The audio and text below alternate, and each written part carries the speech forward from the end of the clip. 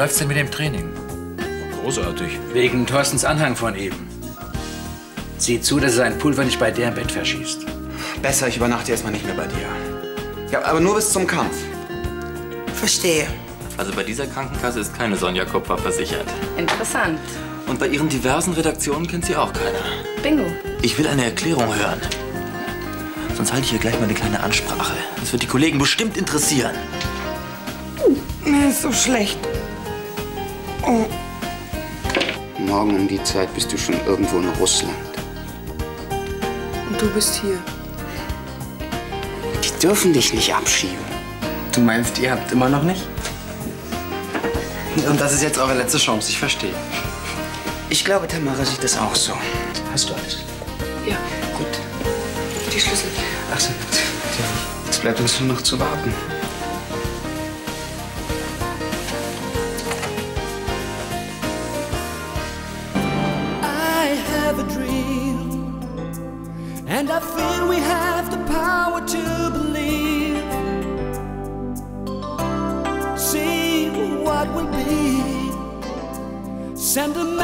From your heart. We will never be apart.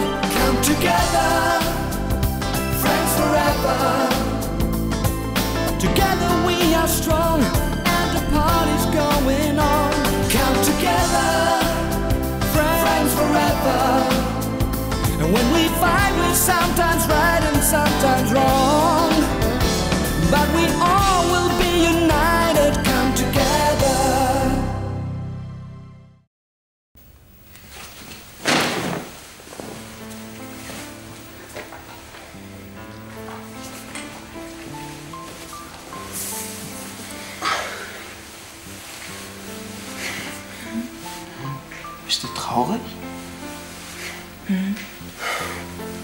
Es tut mir leid. Ich weiß, ich war ungeschickt. Aber es war halt mein erstes Mal. Und ich, ich weiß ja auch nicht, was du so magst. Arnold. Außerdem habe ich immer dran denken müssen, dass du zurück nach Russland musst. Dass die blöde Hoffmeister hier jeden Moment aufkreuzen kann. Hey, ich bin doch nur traurig, weil. weil ich nie mehr so glücklich sein werde. Es war so schön. Wirklich? Ich habe nun wirklich schon viele Männer gehabt, aber nie war es so schön wie mit dir.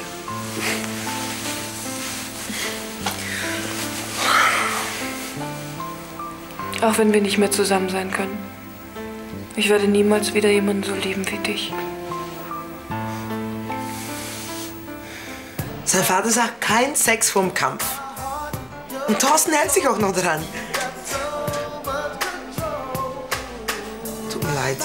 Hast deine eigenen Probleme mit Eva und so.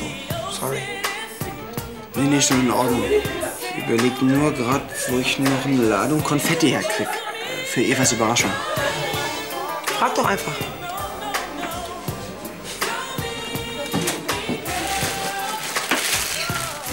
Hey, cool. Ist noch übrig von äh, Silvester. Ich finde, du hältst dich gut. Was meinst du? Wie du das alles wegstellst. Mit Eva und so. Ich war schon total fertig, wenn ich es gehört habe, dass sie. Ich meine, wenn ich wusste, dass Thorsten bald sterben muss. Ich. Ich würde einfach zusammenbrechen. Wenn wir nicht zusammenbrechen, dann nicht wegen Evas Krankheit, sondern weil jeder so tut, als ob sie schon tot ist. Falls du es vergessen hast, sie lebt. Wenn sie eine Niere kriegt, dann hat sie wirklich eine ganz große Chance. Ich habe das echt nicht so gemeint. Ich sag ja auch nicht immer zu Thorsten, hey, deine Freundin ist doch schwarz. Hast du damit keine Probleme in Deutschland? Fritz.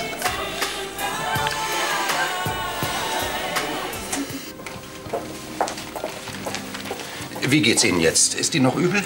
Danke. Nein, es geht mir schon besser. Äh, wo ist denn Heike? Sie macht Hausbesuche. Bruno, wollen Sie sich nicht um Ihre schwangere Freundin kümmern? Ja, ja, sicher.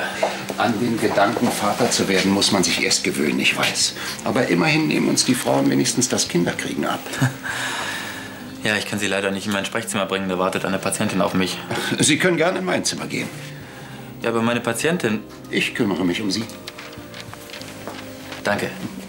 Keine Ursache. Das Wichtigste ist die junge Familie. Glaub ja nicht, dass du damit durchkommst.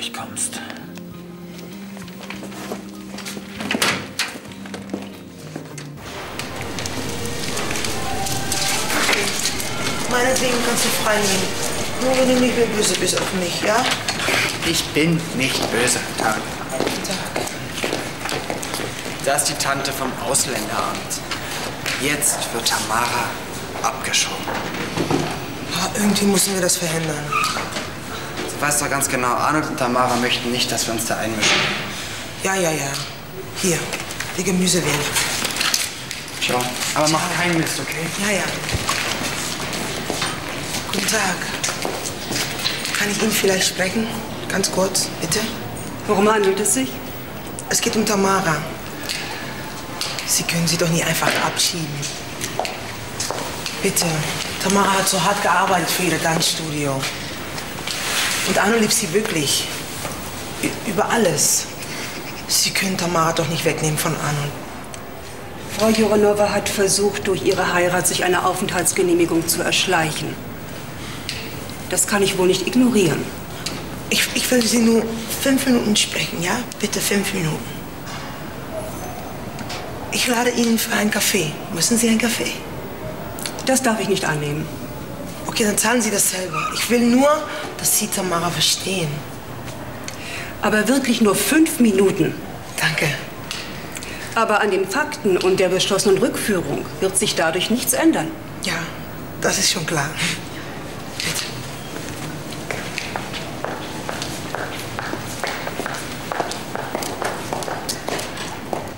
Warum redest du mit mir wie mit einer Verbrecherin? Weil Betrug eben nicht legal ist. Wieso Betrug? Was ist mit dem Geld, das du dir bei Heike geliehen hast? Das hast du ihr doch nie wiedergegeben. Die bekommt es zurück. Mir ging es finanziell nicht so gut. Wieso? Du verdienst doch vernünftig als Journalistin, oder? Hättest doch mit deiner Bank sprechen können. Für welche Zeitung schreibst du nochmal? Das ist verschieden. Du weißt doch, dass ich frei arbeite. Frei. Ah. frei wie frei erfunden, oder was? Ich habe bei allen Redaktionen angerufen, da kennt dich keiner. Von dir ist nicht ein einziger Artikel erschienen. Kannst du mir das erklären? Ich geb's ja zu, ich habe gelogen. Aber auch nur, weil ich nicht mehr weiter wusste. Und warum erzählst du überall rum, dass du schwanger bist? Ich bin schwanger. Du suchst doch nur einen Idioten, der dir dein Leben finanziert. Ich liebe dich. Und ich bekomme dein Kind. Das fühle ich. Ja, dann hast du ja sicher nichts gegen einen Test. Frau Dr. Burkhardt ist von ihrem Hausbesuch zurück. Sie können jetzt zu ihr gehen. Na dann. Darf ich bitten?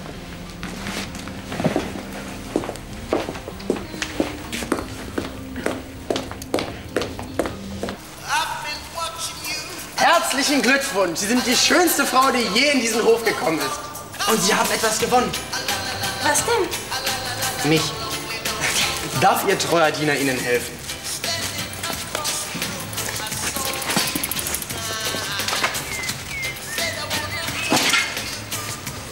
Ich hab dich vermisst. Ich dich auch.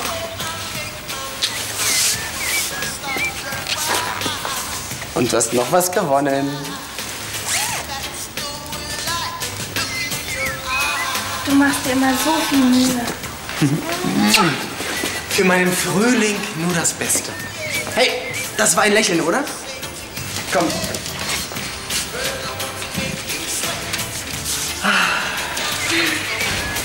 Das ist aber mal eine nette Idee. Wollen Sie unserer Patientin ein bisschen frische Luft und Sonne gönnen? Das ist ja besser als jedes Sanatorium. Das wird Ihnen sicher gut tun. Aber nehmen Sie sich lieber eine warme Decke. Sie dürfen sich nicht verkühlen.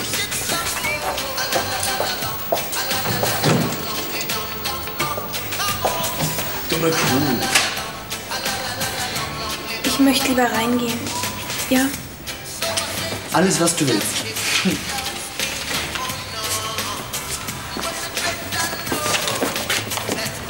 Danke sehr.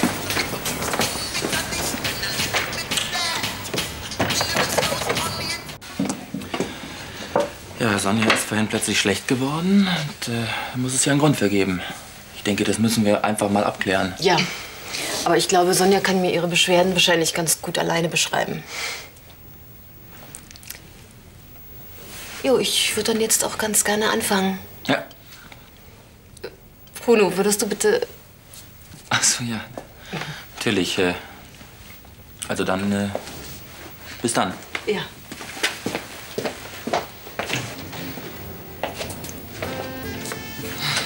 So, wir machen dann gleich mal eine Ultraschalluntersuchung. Kann das meinem Baby schaden? Nein, das ist eine ganz schonende Methode. Und zuerst machen wir einen Schwangerschaftstest. Was ist denn? Nee, dieser ganze Aufwand. Ich weiß, dass ich schwanger bin. Dafür brauche ich doch keine Apparate. Eine Frau fühlt doch sowas.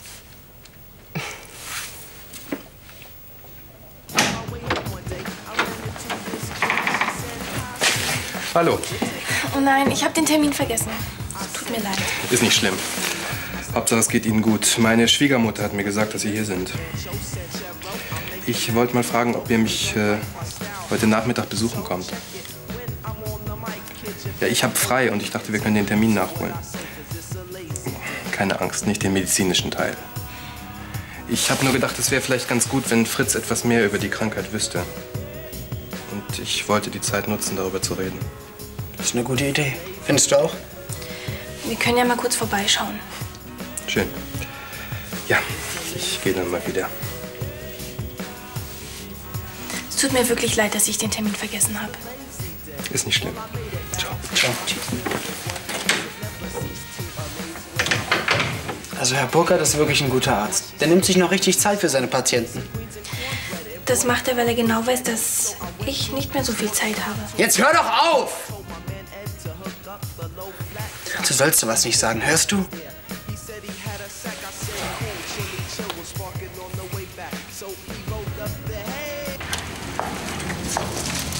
Aber es kann Ihnen doch nicht egal sein, was mit Tamara passiert. Ich muss über Aufenthaltsgenehmigungen entscheiden. Mich darf Mitleid dabei nicht beeinflussen. Das Verfahren ist für mich abgeschlossen. Ich kann nichts machen. So ist das Gesetz. Dann ist das Gesetz falsch. Gesetze sind von Menschen gemacht und nicht andersrum.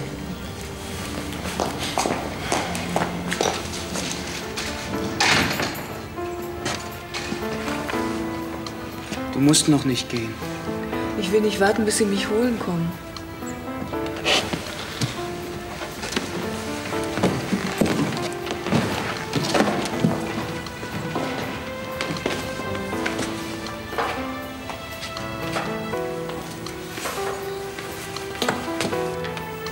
Du kannst mich nicht allein lassen. Ich, ich brauche dich. Arno, tu mir einen Gefallen und geh wieder hoch. Ich halte das sonst nicht durch.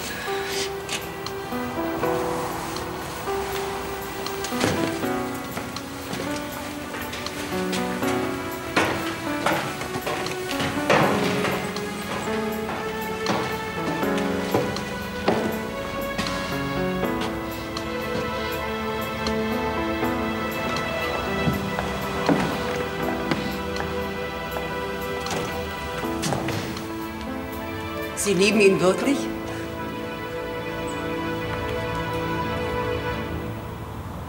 So, jetzt muss ich aber wirklich gehen. Patrick kommt gleich aus der Schule. Dann möchte ich das Essen auf dem Tisch haben. Ja, wenn man erstmal Kinder hat, dann dreht sich alles nur noch um die süßen Kleinen.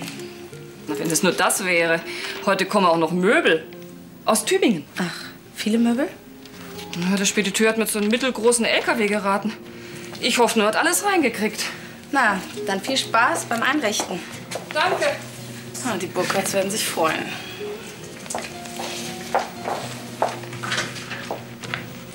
Na, ist der Herr Doktor schon im Vaterschaftsurlaub? Oder bist du heute zu nervös für Patienten? Schön, dass wenigstens du deinen Spaß hast. Wie lange bleibt ihr denn noch bei Heike? Sie hat dich wieder voll im Griff. Wie kommst du denn da drauf? Du solltest dich mal sehen, wie du dich unter Druck setzen lässt. Ich habe ihr Druck gemacht. Ja, ich habe ihr ihre Lügen um die Ohren gehauen. Sie hat alles zugegeben. Und wann trennst du dich endlich von deiner Mama? Wenn es soweit ist, ich muss abwarten. Eva ist sehr krank. Das ist eine Tatsache. Und die Wahrscheinlichkeit, eine geeignete Spenderniere zu finden, ist klein. Zu klein, um sich große Hoffnungen zu machen. Was will man machen? Ständig über den Tod reden, wenn wir zusammen sind? Nein. Was bleibt uns denn? Ohne Hoffnung. Ihr dürft hoffen, aber auch nicht verdrängen. Er hat recht. Ich bin ganz sicher, dass ihr einen Weg findet, mit der Krankheit zu leben. Ähm, Fritz, ähm, es gibt einige Dinge, die du wissen solltest. Evas Herz ist durch ihre lange Krankheit sehr in Mitleidenschaft gezogen und äh, da kann es zu Schwächeanfällen und Krämpfen kommen. Und was soll ich machen, wenn sie jetzt plötzlich ohnmächtig wird? Ja, dann rufst du mich oder einen der anderen Ärzte. Aber noch viel wichtiger ist die Vorbeugung. Eva muss sich sehr streng an ihre Diät halten, sonst äh, passiert sowas wie neulich im Pinguin und sie bricht zusammen. Der Cocktail. Und ich, Idiot, hab ihr gesagt, sie soll's mir zuliebe trinken. Ja, das war schlimm. Alkohol ist Gift für Eva in jeder Form, also Finger weg. Und Eva, Sie können Fritz auch helfen, indem Sie ihm alles erklären, was er nicht versteht. Ihr beide werdet das schon schaffen.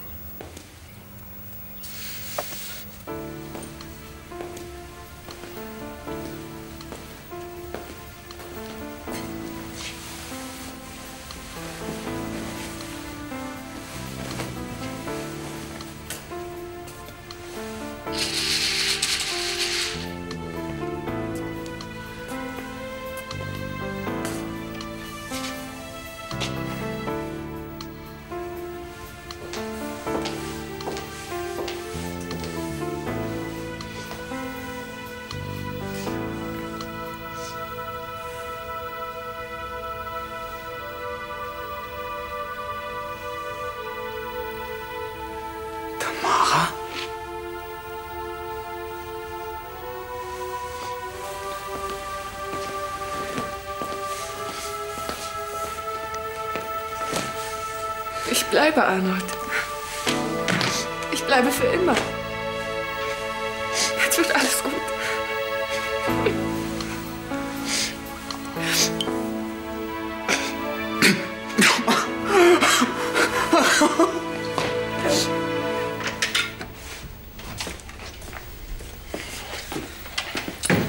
Also auf den Tag heute hätte ich verzichten können. Tut mir leid. Das ist doch nicht deine Schuld. Tamara wird abgeholt. Christa verdirbt uns den ganzen Tag mit ihrem blöden Praxisgequatsche. Charlotte macht immer auch einen auf Mitleid. Und dann noch Herr Burkhardt. Sag mal, wie stellt er sich das eigentlich vor? Ich meine, so kann doch kein Mensch leben. Immer, immer nur vorsichtig sein. Sei ihm nicht böse. Er meint es doch nur gut. Hm, wie alle anderen. Sag mal, wie hältst du das eigentlich alles aus? Was bleibt mir denn anderes übrig? Ich habe mich schon daran gewöhnt, dass mich alle nur als Patientin sehen. Aber ich bin nicht mit dir zusammen, weil du krank bist. Das weißt du doch, oder? Ja, Gut.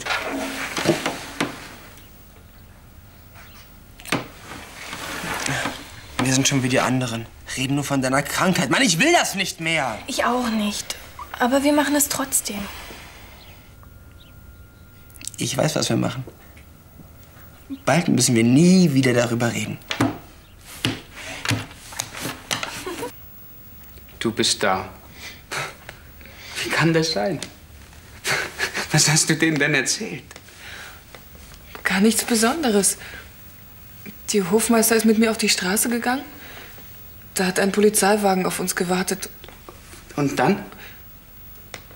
Dann hat sie mich angeschaut, mir die Hand gegeben und mir alles Gute gewünscht. Aber warum? Ich weiß es auch nicht so genau. Auf dem Hof hat sie mich gefragt, ob ich dich wirklich liebe. Vermutlich hat sie mir geglaubt, als ich Ja gesagt habe. Du bist wunderbar. Also um eine deutsche Beamtin zu sowas zu kriegen, muss man das sein. Sie meinte, sie wird das ihrer Behörde schon irgendwie erklären. Und ich hatte nicht mal Zeit, mich bei ihr zu bedanken. Ach, das holen wir nach.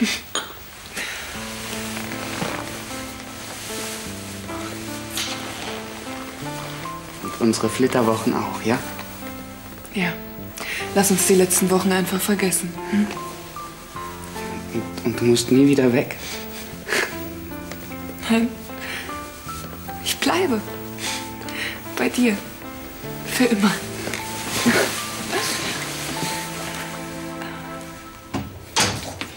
Tut mir leid, dass Sie so lange warten mussten, aber diese Tests dauern immer eine ganze Weile.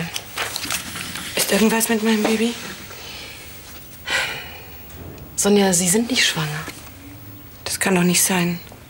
Sie müssen sich irren. Ich weiß, dass ich schwanger bin. Weder der Ultraschall noch der Schwangerschaftstest lassen irgendwelche Zweifel. Aber wie kann das denn sein? Meine Periode bleibt aus. Mir wird dauernd übel und ich habe Schwindelanfälle. Sie haben sich das Baby sehr gewünscht, oder? Hm, ja. Ich will ein Kind von Bruno. Wenn der Wunsch nach einem Kind so stark ist, dann kann es manchmal vorkommen, dass es zu einer sogenannten Scheinschwangerschaft kommt. Die Symptome sind die gleichen wie bei einer echten Schwangerschaft. Manchmal kann es sogar vorkommen, dass der Bauchumfang zunimmt und andere typische Merkmale auftreten. Dann habe ich mir das alles nur eingebildet? Dafür müssen Sie sich nicht schämen. Wenn Sie mit jemandem sprechen wollen. Also ich hoffe, dass Sie wissen, dass ich immer für Sie da bin. Auch außerhalb der Sprechstunden. Danke. Aber Bruno, wie soll ich ihm das denn jetzt sagen? Soll ich mit ihm reden? Nein, danke. Ich glaube, das muss ich alleine machen. Bist du bereit? Wer interessiert uns ab jetzt nicht mehr? Die anderen. Ab jetzt zählt nur noch die Zeit, die wir miteinander verbringen. Sprich mir nach. Von diesem Moment an Von diesem Moment an ist meine Krankheit vergessen. Ist meine Krankheit vergessen. Kein Wort mehr darüber. Mein Leben ist nicht mehr in Gefahr. Ich bin nicht mehr in Gefahr. Ich schwöre, mich an diesen Schwur zu halten. Ich schwöre.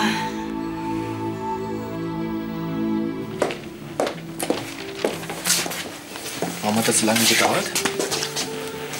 Ich musste warten, bis der Test fertig ist. Ja und? Was hat Heike gesagt? Bist du schwanger oder nicht?